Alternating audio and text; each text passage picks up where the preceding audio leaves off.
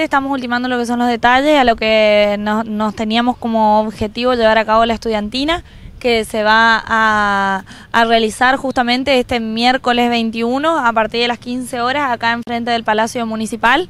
Eh, bueno, por supuesto con la, las actividades que tenemos acostumbrados, de, de, la elección tradicional de reina, del estudiante y de, de, la primavera, y por supuesto también la participación de los centros de estudiantes con diferentes actividades, tanto de los CAG como también los, los mismos chicos que van a, van a llevar a cabo eh, diferentes espectáculos. ¿Participación de grupos en vivo?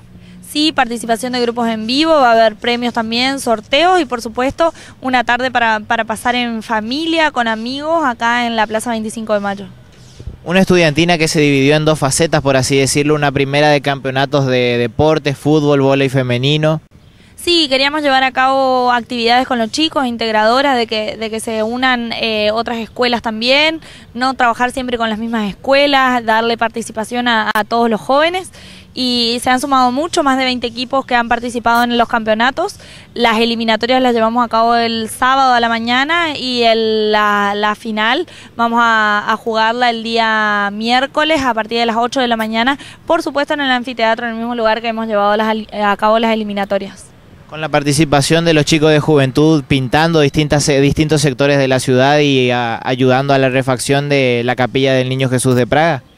Sí, trabajando. Teníamos un proyecto con, con los chicos y, y los docentes de, la escuela agrotécnica con la cual hemos, hemos planteado llevar a cabo murales con diferentes mosaicos que les donan a la comunidad, mosaicos que ya son de, no tienen utilidad y que ellos le, los refaccionan, los cortan, los pintan, los acomodan y posteriormente los van a ir eh, pegando en los diferentes murales que quieren hacer. También llevar a cabo, tenemos un objetivo grande que es llevar a cabo este tipo de murales en toda la ciudad y que sean como un recorrido turístico de murales.